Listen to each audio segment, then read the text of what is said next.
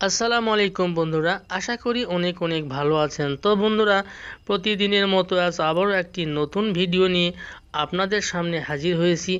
আজকের ভিডিও তাদের জন্য, যারা স্বপ্নদোষীর পুরুষ, তাদের জন্য আজকের এই ভিডিওটি।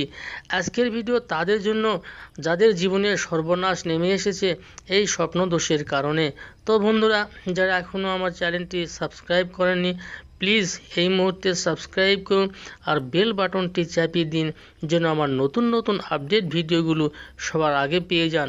গাছগাছালির নতুন নতুন চিকিৎসা তথ্য পেতে আমাদের সঙ্গেই থাকুন। লাইক, কমেন্ট এবং শেয়ার করতে কখনোই ভুলবেন না। তো বন্ধুরা, প্রতি মাসে এক থেকে দুইবার স্বপ্নদোষ হলে এটাকে রোগ বলে না।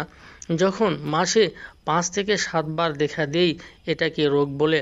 এই সমস্যাকে যারা এড়িয়ে চলে দেখা যায় এক থেকে দুই বছরের মধ্যে পুরুষ যন্ত্র দুর্বল হয়ে যায় এবং দুই থেকে তিন বছরের মধ্যে উত্তেজনার শক্তি হারাতে শুরু করে এবং তিন থেকে চার বছরের মধ্যে সংসার জীবনের যোগ্যতাকে হারায় ফেলে এবং এক থেকে দুই মিনিটের মধ্যে সবার সমাপ্ত করে ফেলে।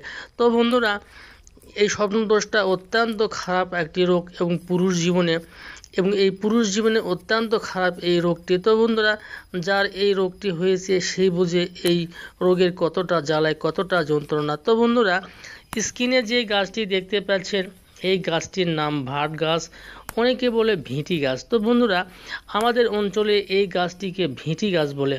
এই গাছটি অত্যন্ত শক্তিশালী।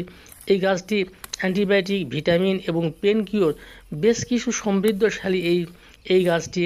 তো তো বন্ধুরা, এই গাছটি অত্যন্ত কার্যকর এবং নানান রোগ নিরাময় করতে এই গাছটি ব্যবহার হয়ে থাকে। তো বন্ধুরা, স্বপ্নদোষ নিরাময় করতে এই গাছটি অতুলনীয়, এটা অনেকেই জানে না।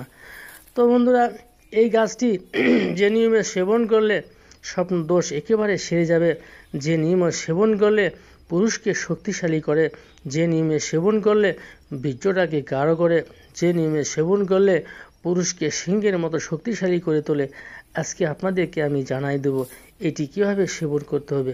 তো বন্ধুরা, এই গাছটি আপনি সহজেই পেয়ে যেতে পারেন। এই গাছটি বিশেষ করে দেখা যায়, রাস্তার পাশে পরিত্যক্ত জায়গায় কবরস্থানে ড্রেনের পাশে বিভিন্ন জায়গাতেই ব্যাপক পরিমাণে পাওয়া যায়। তো বন্ধুরা, মূলত এই গাছের যে মুজি পাতা, কুশি পাতা, এটিকে ব্যবহার করতে হবে। এক মোট পরিমাণে মুজি পাতা সংগ্রহ করতে হবে।